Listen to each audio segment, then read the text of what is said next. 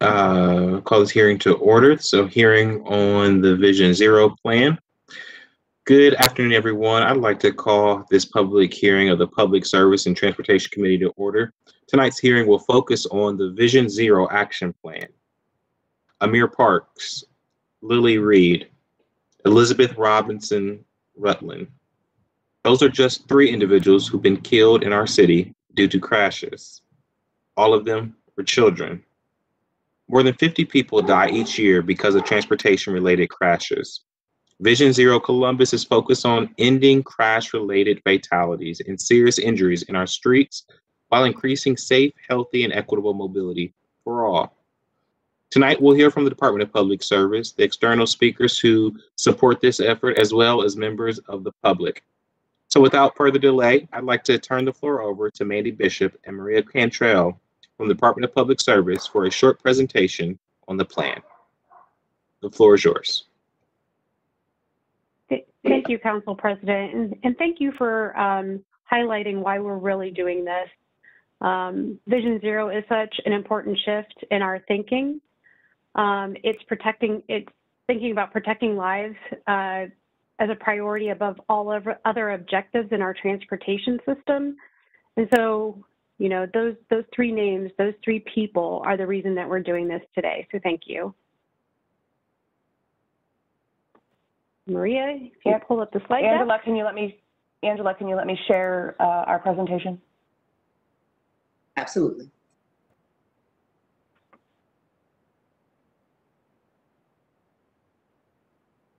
There we go. Okay.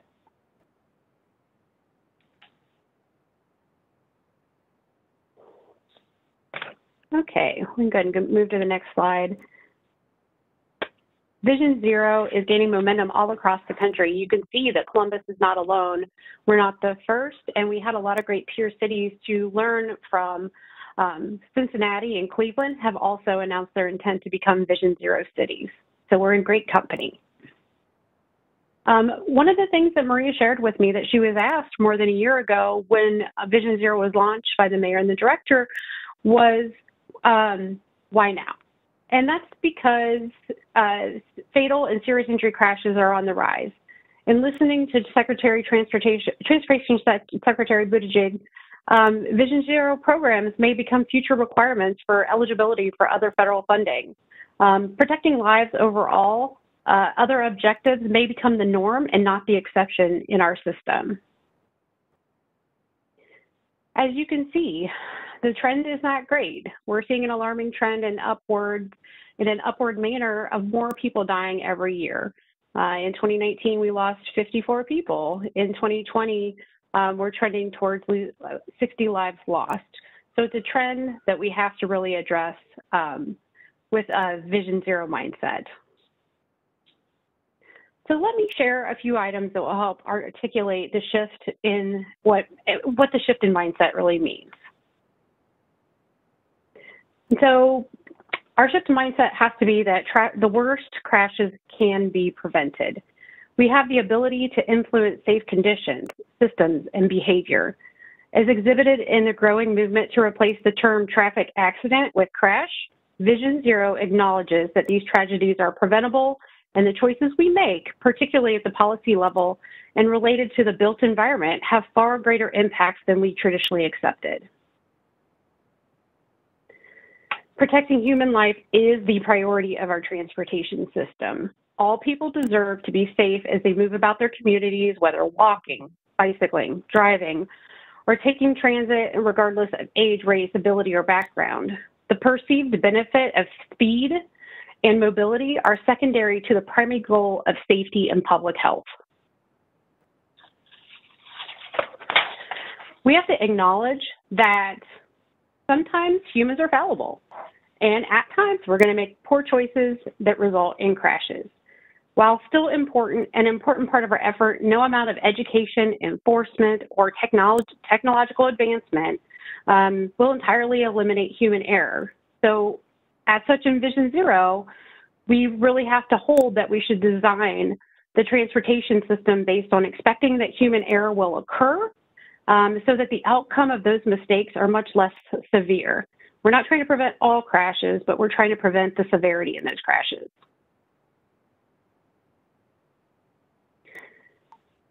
We also have to recognize that um, Vision Zero calls for a shift in attention away from expecting people to behave perfectly towards a shift um, to an upstream approach that shapes policies, systems, and the built environment. These are all key factors that most, uh, most affect people's behavioral choices.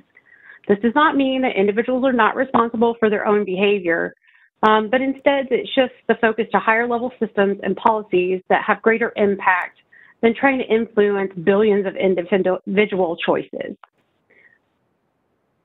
Policies and design should definitely um, encourage the desired behaviors uh, by making them intuitive, rational, and easy to follow. And the number one thing we really have to think about, the, the system we just talked about focusing on needs to be changed to slow cars down. As we know, the greater the speed, the greater the likelihood of a crash occurring, as well as the greater likelihood that the crash is severe. So by reducing speeds, when people do make those mistakes, uh, the severity of the outcome is definitely reduced. And so with that, I'd like to turn it over to Maria to talk about our timeline and more about the plan. Thanks so much, Mandy. So with Vision Zero, we started this initiative over a year ago in winter of 2019 and 2020. We did a lot of background and preparation on data. We created a website and we did research to learn, you know, what some of our predecessors in Vision Zero did and to learn from their successes. Um, we shared this information with our partners and our stakeholders to get buy-in and involvement from our community. Then in the spring of 2020, right around a year ago, um, Mayor Ginther and Council President Hardin held a, a media event to announce Vision Zero. Um, you know, timing is what it was. We know what happened with COVID. It, it happened to be the same day that uh, Governor DeWine announced that um, people would be going to um, not going to school for a while, and so you know that's the cards we were dealt with. But we knew we still wanted to push forward with this initiative nonetheless. So in later in the spring and in the summer, we convened an executive committee and some working groups to sort of collaborate on, you know, what we want to do for an action plan. And then in the fall, we kind of gather all that information from many, many meetings. I'll talk a little bit more about them uh, here in the presentation. But we we put our action plan together. We drafted it. We finalized it over the winter time, and you know, here we are now sharing our um, plan with you. We just published it on on our website this week. Um, but you know, that's just the beginning. This is our document. We're going to start over the next two years to implement a lot of strategies and foundational activities. So who is involved? Who's our executive committee? Um, here's a list of folks that participated. Some of them are here with us today. Uh, we were spearheaded by the Director of Public Service, Jennifer Gallagher. We had involvement from the Mayor's Office with Stephen Sayer, uh, Council Member Shayla Favor from City Council participated. We had um, Lieutenant Weiner from Police, uh, Assistant Chief David Baugh from the Fire Department, um, also Pat Ferguson from the Fire Department, Dr. Roberts from the Health, um, our Health Commissioner, uh, Director Carla Williams Scott from our Department of Neighborhoods, and those were just internal to the city. But then beyond that, you know, we had our partners at um, Columbus City Schools. We had Dr. Dixon. We um, worked with Joanna Pinkerton of COTA, William Murdock, who's here today from MORPC, Michelle May, who's here today from COTA, as well as our um, stakeholders with um, Todd Wickerham of Ohio Health, Nathan Weimer and Toby Tomlin of Nationwide, and David Harrison, president of Columbus State. So, you know, we have a lot of people who are involved in our community that really guided us through this um, process. And then our working groups comprised of city staff, advocates, stakeholders, consultants, designers, area commission members, and residents. Our full list of those who was involved or the agencies involved are acknowledged at the end of our action plan. Uh, but we got these folks together for many meetings over the summer months, like dozens of meetings. We learned from each other about ongoing initiatives um, so we could share information about what, it, what efforts were already going on. So we weren't reinventing the wheel and where could we build upon um, successful programs. We also discussed concerns. We reviewed lots of data, the who, what, when, where, why, and how these crashes were happening. And we brainstormed lots of potential solutions. I think, you know, we had hundreds of ideas of things we wanted to do. And, you know, that sort of developed the, the strategies of our action plan. These working groups also collaborated on mission statements for these four areas. Safe People was about vulnerable transportation users. Those are bicyclists, pedestrians, transit users, and motorcyclists of every age, ability, and income. We want to make sure they can travel through Columbus safely and comfortably. And we also focused on safe streets.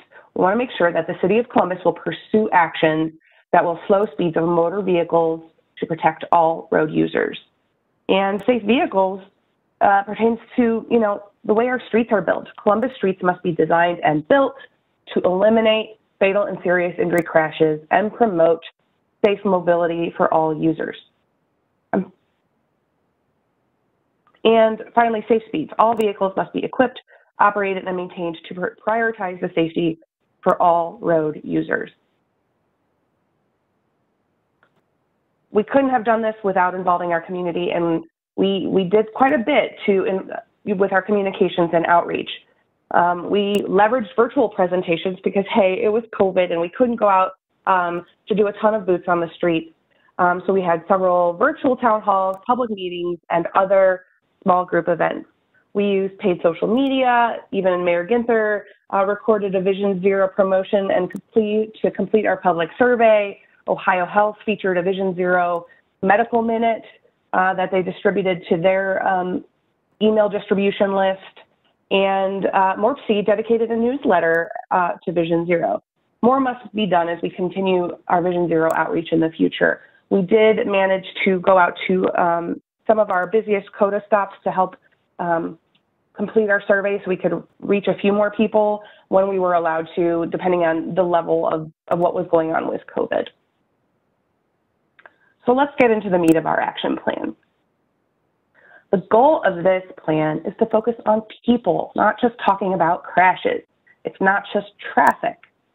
People need to use our transportation system and, you know, people don't who don't travel inside of cars they do tend to be disproportionately affected. So this graphic on the right is is one of the um, data charts from our action plan that shows, you know, most people commute and travel within a car. Yet nearly half of the people who are killed on our Columbus streets from 2015 to 2019 were not inside a car.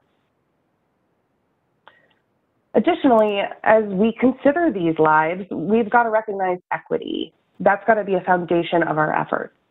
We know people living in our communities of interest may have fewer choices about how, when, and where they travel, which can put them at higher risk as they move around.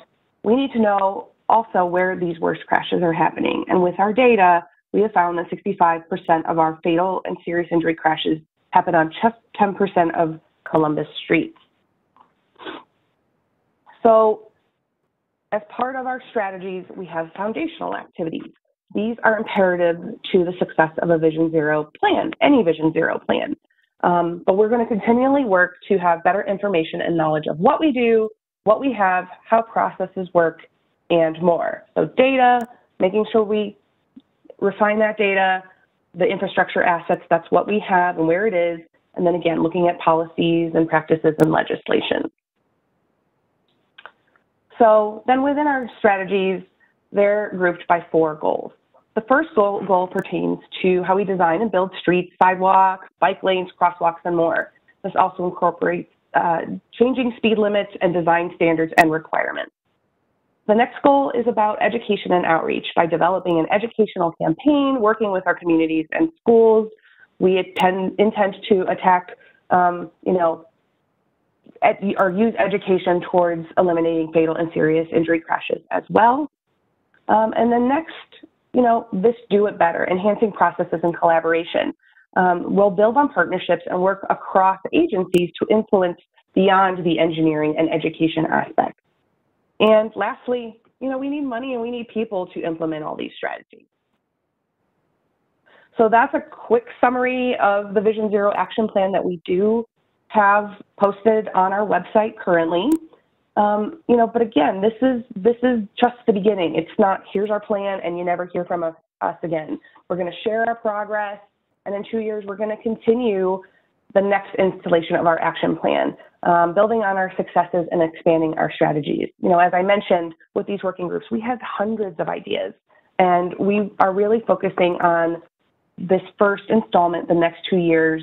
Um, you know, we didn't do a bigger, longer five-year plan because we are in a little bit of limbo with COVID, and so we're saying let's assess, see what we're doing right now, and and hit it hard in these next two years with these key strategies, uh, and then we'll build upon that in the future. Because again, this pro um, plan is really about prioritizing lives. It's about our friends and our family and prioritizing our safety on our transportation system over all other objectives. So that's just a quick summary of Vision Zero, and I can turn it back to Council President Hardin.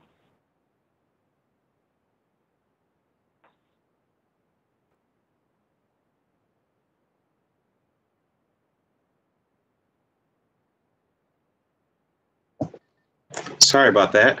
Thank you, uh, Maria and Mandy, for the presentation. It was a great walkthrough uh, so that we can all understand what Vision Zero is. Uh, one of the things that stood out to me was that um, with good data, we can really zero in on this, that 65% of our fatalities and accidents happen on only 10% of our roadways. Um, and so again, it shows us some, some um, uh, guiding uh, to where we need to focus on uh, in terms of good data to help us move forward. So thank you uh, to the public service team. Also with us this evening are partner agencies who have been engaged in crafting this plan. I'm going to offer them an opportunity to make any remarks if they choose.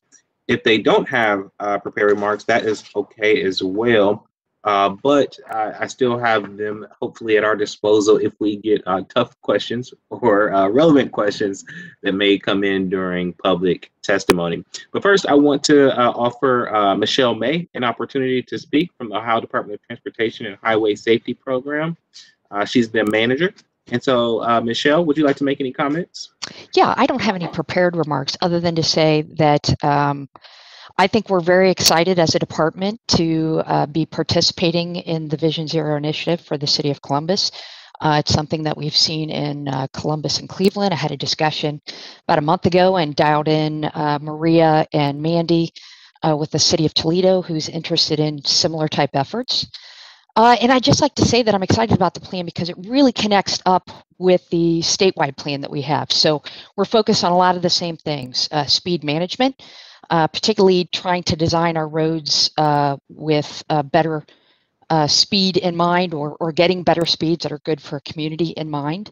Um, we're trying to improve a lot of those processes. We're focused on providing more protections to uh, bicyclists and pedestrians and making sure that we're providing more investments uh, in infrastructure that makes it safer for them. And then we're also focused at the statewide level on uh, doing a better job of serving underserved communities, uh, bringing in that equity uh, component to our investments. So uh, over the course of your plan, we're here to provide some expertise and some partnership and uh, potentially some funding as well. So thank you. Thank you so much, Michelle, for your uh, support uh, and your engagement on our Vision Zero plan. Um, second, we'll hear from my friend, Mr. William Murdock, who's the Executive Director at MORPC and Dr. Kerstin Carr, who is the Director of Planning and Sustainability. I will turn it over to the MORPC team. Thank you, Council Member, and uh, we appreciate the opportunity to testify here in support of the Vision Zero Columbus Action Plan. We do have prepared remarks, but they're very short. Uh, again, my name is William Murdock. I'm the Executive Director at MORPC, and I do have MORPC's Planning Director and uh, Safety Expert, Dr. Kerstin Carr, with me. Uh, you all know that MORPC is the Regional Council for Central Ohio, and we play an important supporting role in transportation serving communities like Columbus. Uh, MORPC is the federally designated metropolitan planning organization for transportation, and that means we do a lot, but a core part of what we do is on safety. And our work supports funding and policies that measurably improve transportation safety and equity, which includes advancing Vision Zero efforts like this at all levels. Uh, we're proud to be partners with the City of Columbus and working toward the goal of zero deaths and uh, injuries by 2035.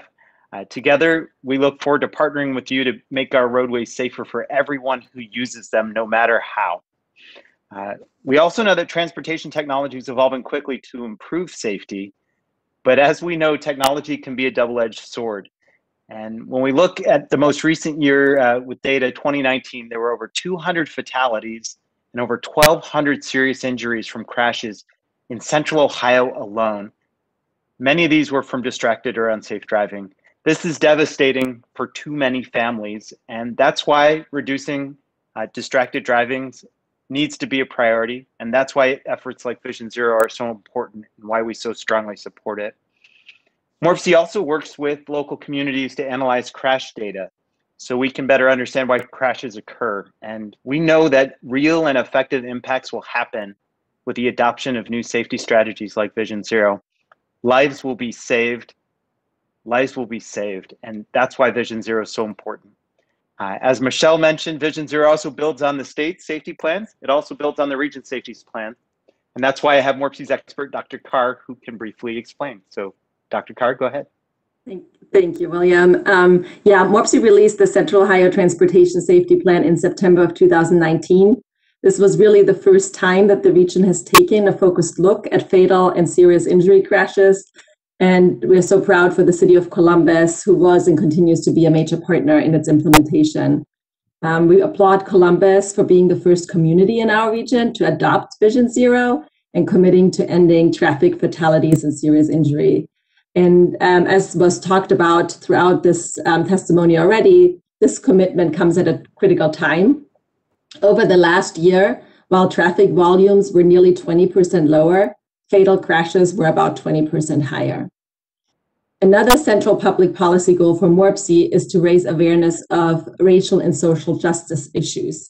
And so we believe that the Vision Zero Action Plan takes a much needed step toward improving the situation by acknowledging that our transportation system must be safe for all and support those most in need, including vulnerable roadways users and communities of interest, people of color, low income households, and people with disabilities. In Columbus alone, nearly 40% of all traffic deaths occur in these communities. So equitable investment is essential in developing safety systems that protect, protect residents of all backgrounds. And so during a very uncertain time for our state and country, we sincerely appreciate the committee's work and willingness to navigate such an important and critical issue.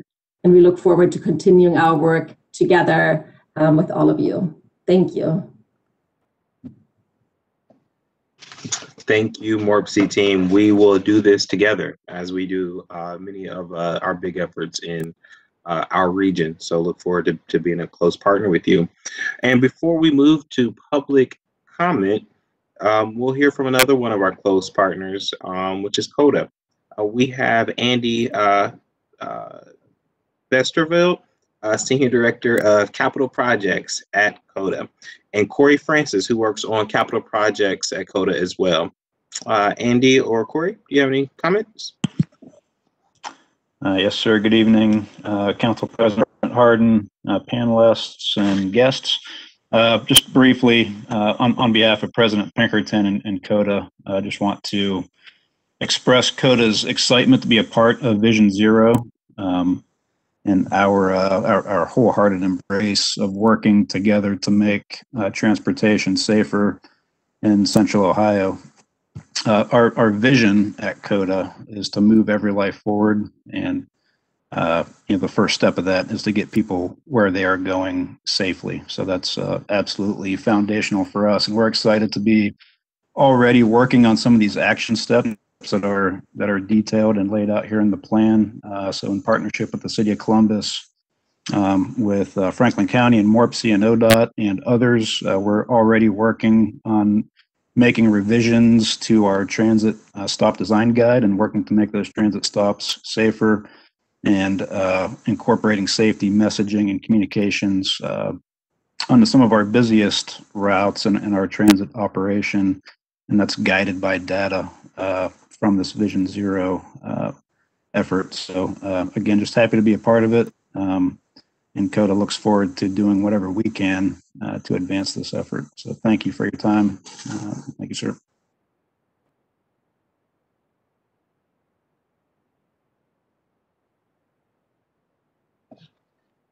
I was waiting to see if Corey had anything to, to say. Maybe he'll just uh, pitch, uh, help clean up if we have some tough testimony or hard questions.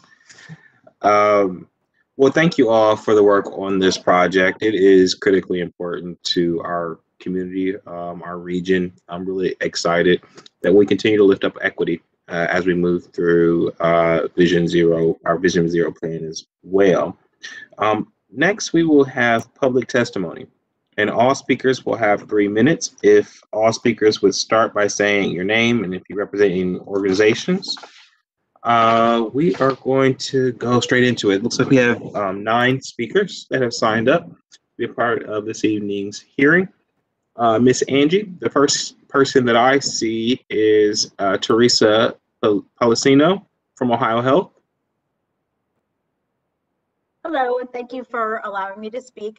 Uh, my name is Teresa Polisino. I am a senior consultant for Trauma with Ohio Health. My focus is on injury prevention, and I have been helping with Vision Zero um, with the small group meetings. Um, Ohio Health Trauma is very excited to be part of this. Um, as a nurse working in the ER at Grant for almost 15 years, I've seen firsthand um, the results of these crashes, of the pedestrians being struck, um, and it has a huge impact on their lives as well as the healthcare workers taking care of them. So we are happy to help out in any way we can. Um, I'm also involved with Impact Teen Driver and pre-COVID was very involved in getting out to the schools and talking to students about distracted driving and being a safe passenger. So hopefully we'll be resuming that in the near future. But um, anything Ohio Health can do, we're happy to help. And thank you. Thank you, Teresa, and thank you for lending that perspective from our healthcare workers. Um, again, at the end of the day, this is about keeping folks alive. Um, and uh, thank you for bringing that perspective. Uh, the next speaker that we have coming for before council is uh, Ginger Torres. Ginger Torres is not in attendance. Okay. Uh, the next speaker I have on my list is Josh Lapp.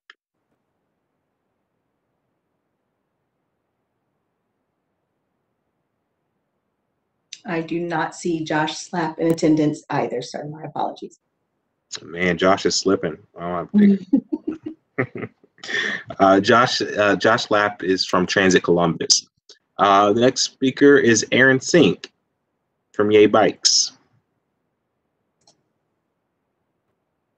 Aaron? Yes, ma'am. I can hear you, Aaron. I oh, thought I could. Actually,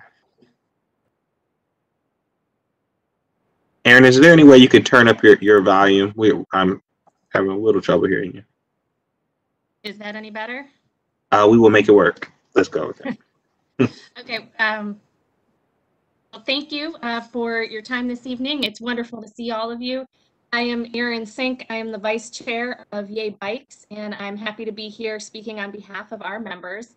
I first want to uh, commend the City of Columbus for embarking on this Vision Zero initiative uh, to rethink how Columbus approaches transportation planning and the prioritization of our vulnerable road users such as bicyclists. Um, eliminating traffic deaths and improving the experience for cyclists and pedestrians is a laudable goal that Yay Bikes fully supports. Our mission at Yay Bikes is to help people ride bikes in the conditions that can exist today and to improve the conditions that will exist tomorrow. We know in central Ohio, roughly 60% of people are interested in making some trip by bike that they're currently making by car. These bike curious folks often cite some barrier as the reason they're not riding. Most common, they don't believe that the route or streets they'd have to ride are safe and comfortable to travel by bike. And so it is our hope that Vision Zero Columbus will reshape our streets to be safer for bicyclists and encourage more people to make that trip by bike. Uh, we've many cities use Vision Zero as a catalyst uh, for, for driving dramatic change to their infrastructure to make their cities more walkable and more bike friendly. Like in Seattle and Louisiana have to use the Vision Zero initiatives to install miles of protected bike lanes, improve sidewalks, and enhance transit stops, all to improve safety and advance mobility for citizens. Personally, very interested um, in the redesign of the city's uh, road and standards. Um, as was mentioned earlier, moving vehicles, um, often putting safety and comfort uh, secondary. This can lead to streets that just simply aren't as safe as they could be for human beings. So updating these manuals and advertising people will absolutely save lives while simultaneously making Columbus a more vibrant city and these dividends for years to come. So Bike strongly supports uh, Columbus in this initiative. Say finally, that will be challenging to meet, but if we meet them, they'll move our city forward in profound ways.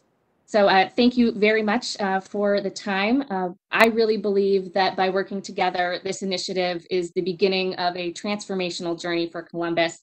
We at Yay Bikes look forward to our continued partnership with the City of Columbus to improve mobility in the region. Thank you, Aaron, and thank you for all the advocacy of Yay Bikes and keeping uh, all of our pedestrians um, safe, regardless if they're walking or on two wheels or four wheels. Um, we all have to do this together, and so I appreciate your advocacy. Uh, next uh, speaker we have is Bob Suter. Uh, is Bob Suter with us? Yes, can you hear me? Welcome. Thank you. Uh, my name is Bob Suter. I'm co-owner of uh, Wolf's Ridge Brewing, a restaurant brewery downtown. Um, I just want to come on and, and say thank you for taking on this initiative. Uh, you know, we've been downtown for uh, about eight years now. Uh, and over that period, we've seen our fair share of accidents in, in front of our building on 4th Street, um, some, some fairly serious. Uh, and it has definitely impacted our ability to operate as a business uh, you know, obviously the the focus on lives here, I think, is is absolutely you know the the top priority, and we've seen staff uh, riding bikes to and from work uh, be hit by cars. Uh, we had an individual walking to work that was hit by a, a, a tire from a car that was going very fast um, uh, downtown. So this this is something I think that is really important, not only to the public safety aspect, which again is, is paramount, but uh, beyond that, I think has a bigger impact on our city's ability to, you know, uh, be a really be a leader for you know uh, public safety and and uh, economic activity downtown. Uh, tourists coming in, you know, walking from the convention center uh, or walking from hotels, things like that. I think want to leave their cars aside and really experience the city. So this, you know, from our perspective, would be a huge step forward in allowing, uh, you know, more fluid traffic from from people visiting uh, outside of Central Ohio. Uh, but you know, I think it'll do a lot for the city, and I, I definitely second the representative from Yay Bikes on what they said, uh, which is, you know, if we if we do this, I think it'll help elevate our city standing, and uh, you know, we're we're in full so, excuse me, full support of it. So, thank you. Bob, I appreciate your um, perspective as a small business owner in a downtown small business um, uh, and bringing in the tourist uh, uh, component, uh, making sure that they feel safe as well. It is about uh, safety and it is about uh, keeping folks alive, but it's also about having a thriving um, area where people want to be and feel safe to be. So thank you uh, for, for your perspective for this evening. Uh, the next speaker to come before council is David Roseman. All right, are we, everybody got their ears on? Can you hear me all right? You are live, Mr. Roseman. Welcome back to council. Uh, thank you very much. All right, we can start the clock now, or I'll take up the other minutes that the folks that didn't show up can speak for. Uh, anyway, hello, council member, uh, President Hardin, uh, associates, city staff, distinguished guests. I am David Roseman, a Columbus Northland resident for over 40 years. I last spoke to uh, this uh, Columbus Transportation Committee chaired by Council Member Favor uh, in July 2019. Uh, as you might all know, I'm bicycling, pedestrian, active transportation advocate, volunteer activist. I've routinely participated with past Columbus transportation initiatives and other community-based active transportation-related groups. Uh, FYI, I am a bicycling crash victim struck by a motorist in downtown Columbus roadway where the driver was cited and I was hospitalized at Grant with multiple broken leg bones. While I support and am thankful for the overall Vision Zero Columbus proposed plan and wonderful intentions, I am compelled to submit my comments, challenges, and questions about some possible omissions which the Vision Zero action plan strategy uh, and Columbus should specifically address, adopt, legislate, and or fund. So here's my eight quick items. Uh, Columbus should implement an actual complete streets policy and related code. Despite what's been publicized, there's still only a complete streets proclamation by city council remaining from 2008. Uh, complete streets policy states that all transportation projects will address the needs of all roadway users. Although Columbus joined NACTO, the National Association of City Transportation Officials, in 2008, 2018, and does consult the NACTO design guides, our, still, our city still needs to formally adopt the complete streets policy. Just as a reminder, NACTO's policy platform urges cities to adopt both Vision Zero and complete streets. I, I continue to applaud MORPC for their excellent complete streets policy mandate, which has been on the books for quite some time. Uh, number two, uh, please reestablish the pedestrian bicycling committees that were both unduly eliminated by DPS. Such collaboration created transparency and open communication with us public.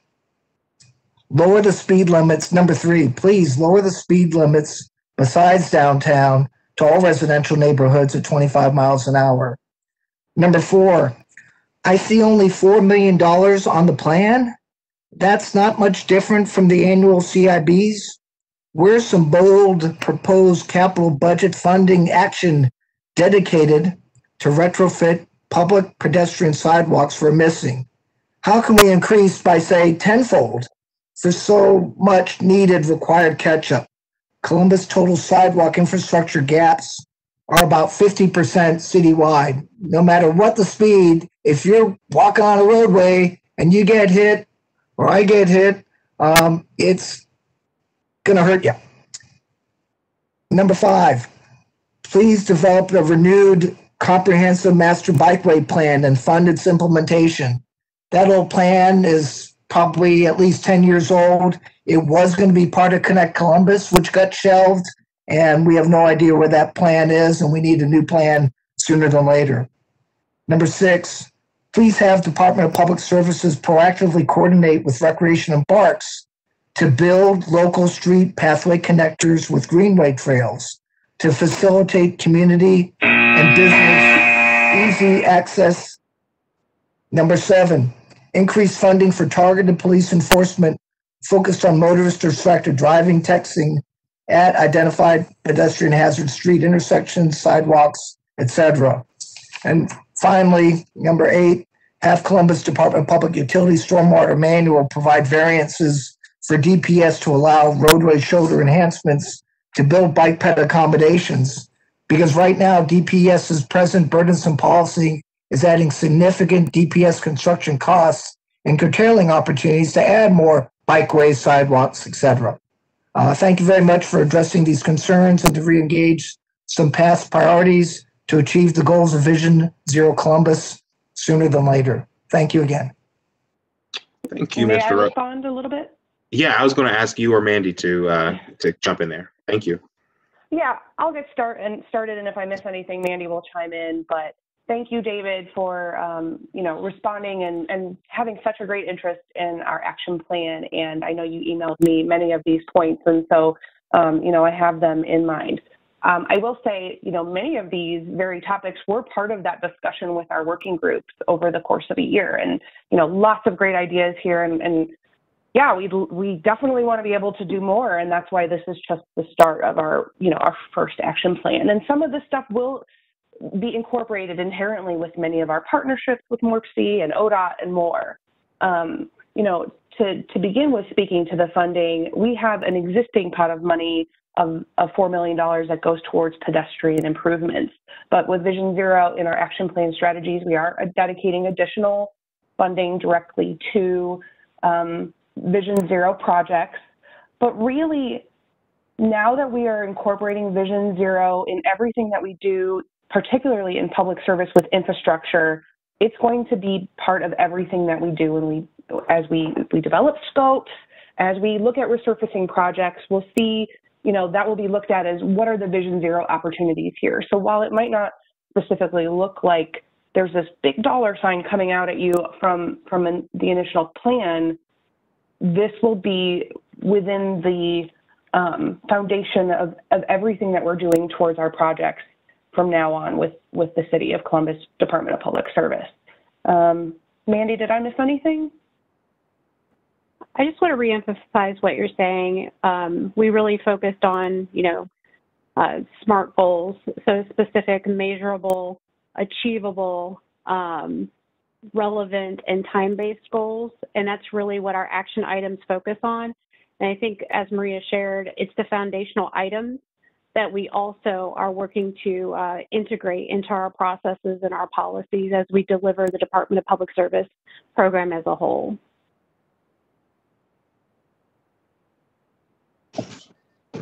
Thank you, uh, Mandy and Maria, and thank you, Mr. Roseman. We appreciate your advocacy. You are close to us.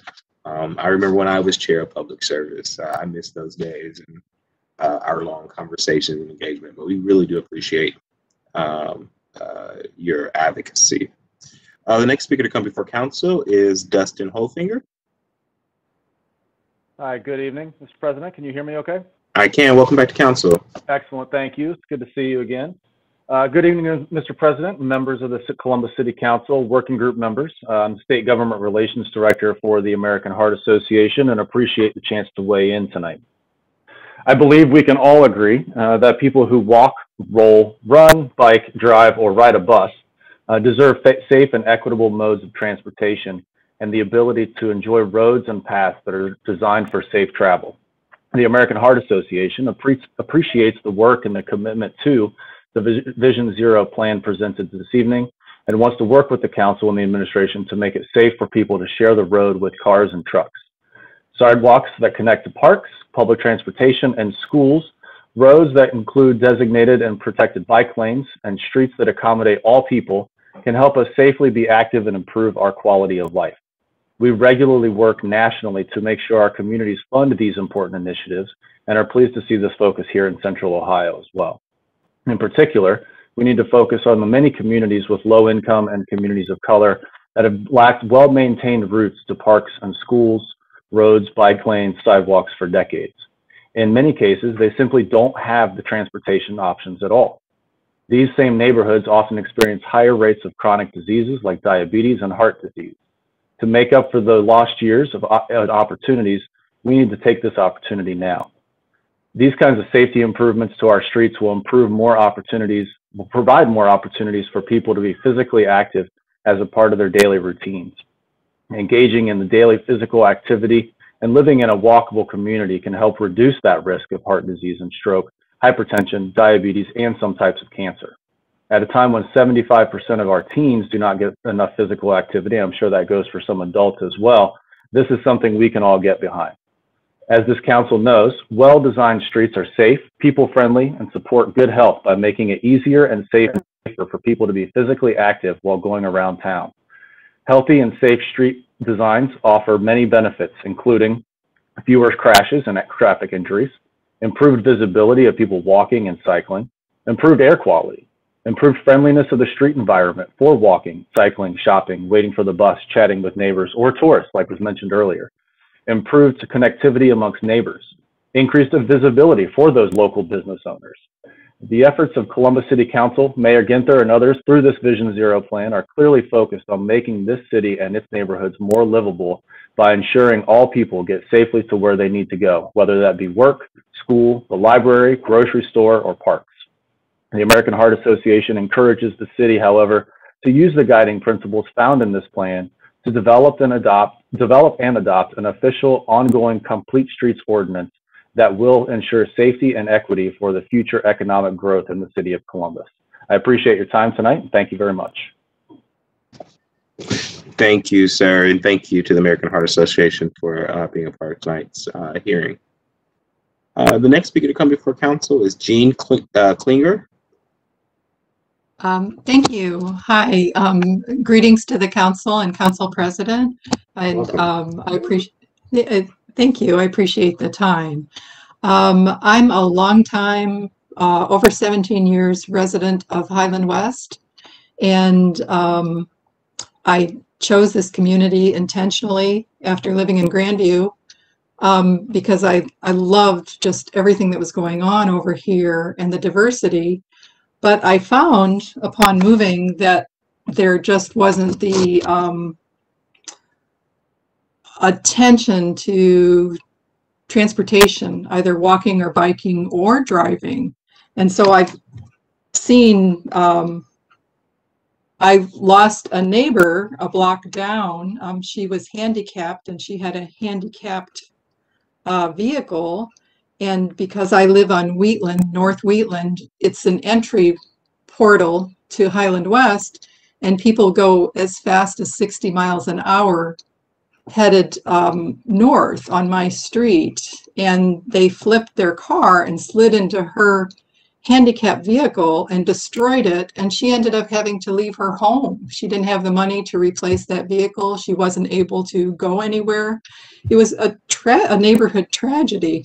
Um, and then one block over on Oakley, uh, a neighbor who had his three year old granddaughter playing peekaboo in front of his bumper. It's parked pretty closely on both sides she was clipped by a truck and flipped over the vehicle in the air, three years old, and the truck just kept driving. We have very high speeds, rates of speed on interior streets. And then um, most recently is a center turn lane was installed on West Broadway. And so there have been a number of head-on crashes, particularly at North Wheatland and West Broad, because if you get in the lane to turn north onto Wheatland, you have cars approaching that are trying to turn south. Um, and so I've come home to try to go down my street and I can't because there's, you know, two ambulances there. So people have been severely hurt. Um, and the other thing, um, I really can relate to the uh, common comment about sidewalks because we've got lots of moms with, um, you know, babies and sometimes toddlers in strollers, and they're going on the streets because we haven't got the sidewalks like steel. The city was seriously looking at putting sidewalks in there three or four years ago, and it just did not happen. And so we've we've got a lot of traffic that way. Um, so I, I, we've and and Highland, I, I also participate in the Highland West Civic Association, and I know we brought this up because the streets, uh, you know, don't coincide. You have the south, you know, coming it, north. You've got Wheatland where it's one way, then it's two way, and now because we have a home for the aged at the end of North Wheatland, we've got people turning out of there and no kidding, going 40 to 50 miles an hour the wrong way all all the way to West Broad. So that's going to be a dire accident when that happens. We've got the ongoing crashes right at North Wheatland and Broad. So we've asked for speed bumps, but North Wheatland is a um, emergency vehicle pathway for fire. So it's it's just, I think I would love to see four-way stops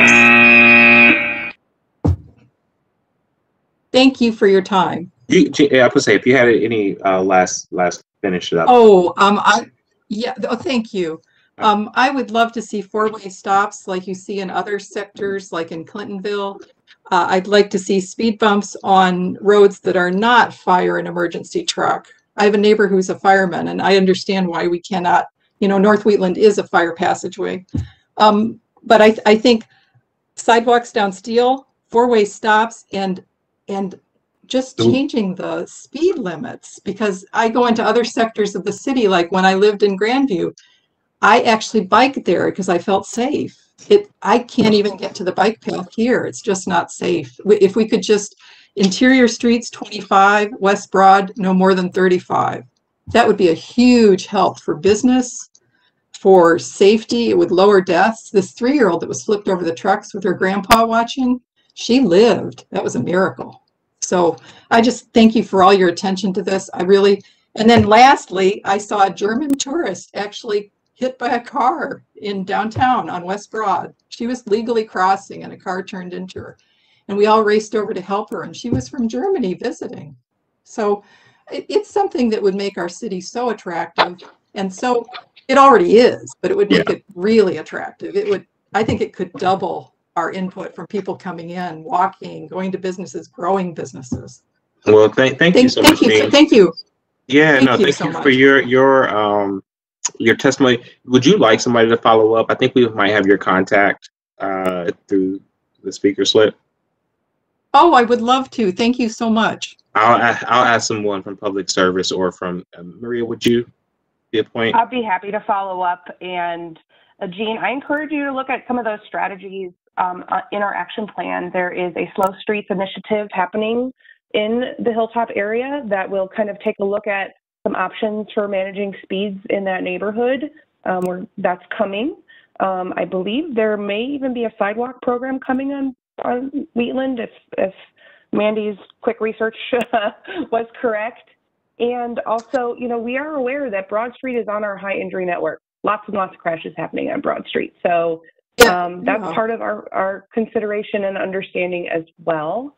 Um, and then beyond that, you know, we have ODOT here today, but we are partnering with ODOT to look at um, some of the, the opportunities to manage speed limits to that would make better sense um, for our, our city streets. Um, our speed limits are controlled by the state legislation, but we can study them, and we are actively participating um, in looking at that process with ODOT currently. But I'd be happy to follow up with you further um, after today. Yeah, I think, I think enforcement, like interior streets are 25 miles an hour, but we have people going down at 60.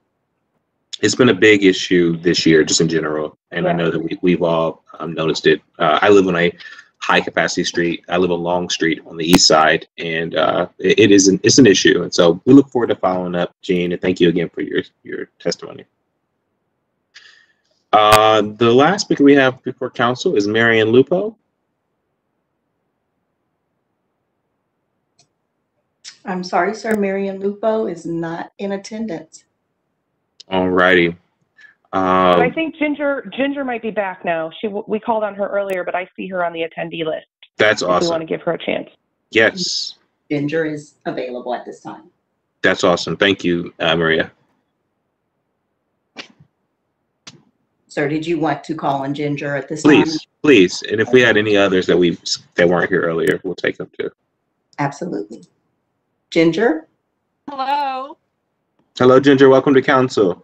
Oh, okay, great. Thank you. Thank you, Maria, for having me or uh, asking me to, to speak again because uh, I was trying to sign in earlier.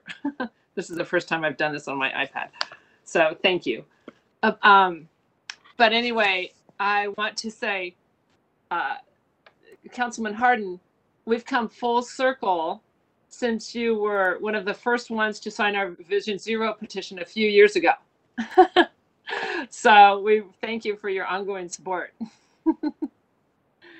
anyway, my name is Ginger Tornes. I with Friends and Families for Safe Streets Columbus. And I would like to share my gratitude gratitude to the entire Columbus City Council for adopting Vision Zero and to Councilman Favor and staff for shepherding it, thr- shepherding it through. Also, a big thank you to Maria Cantrell and the Vision Zero Task Force, as well as everyone involved with Friends and Families for Safe Streets Columbus, whose tireless work helped make this real. It's been almost four years since our friend, vibrant legacy marathon runner, educator, and mother of four, Linda Evans, life was snuffed out. She was killed and left to die by a hit and run driver while she was out for a morning jog. Unfortunately, the road she was on had no sidewalks. That was so unbelievably heartbreaking to know your loved one's life could have been saved, as well as countless others. Had different policy and engineering decisions been made with a focus on safe and human centered design. Had this been the case with Linda, she may still very well be with us today. So here we are, finally, thankfully, implementing the Vision Zero action plan in the city of Columbus.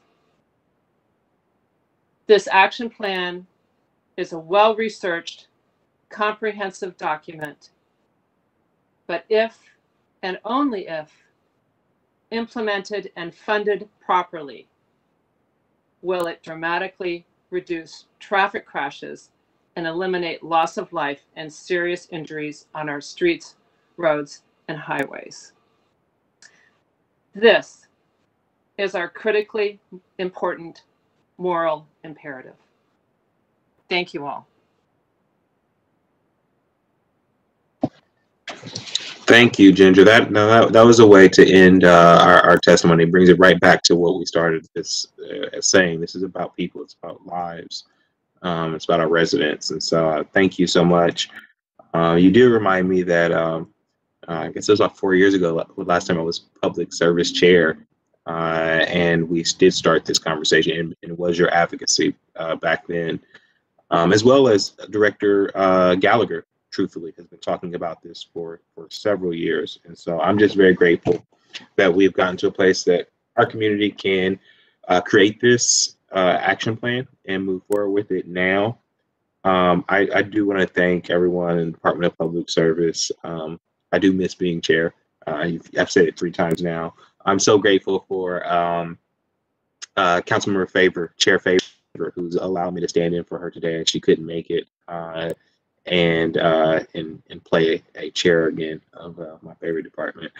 Um, I also want to thank her staff, uh, Ty Harton and uh, uh, uh, uh, for their help. Uh, my team uh, in CTV and Miss Angela. Um, again, thank you to Mandy and Maria, to all of our partners. Um, thank you for being along the ride with us. We're, like we said, we do everything together in our community. And so that will be the same with this plan as well. Um, I know that I personally am excited to see our city move towards a safer transportation system. Council will vote on this plan this coming Monday, March 8th, our regularly scheduled meeting. Um, and I, I, would also shout out because I just saw I saw this earlier today on social media uh, that Columbus City Schools is advocating uh, in support of this plan as well. We got to think about those safe routes to school as well. Um, so again, this is the community coming together uh, for an initiative that we believe will save lives over the years. So thank you all for being a part of this hearing, and that will conclude uh, tonight's public uh, service hearing.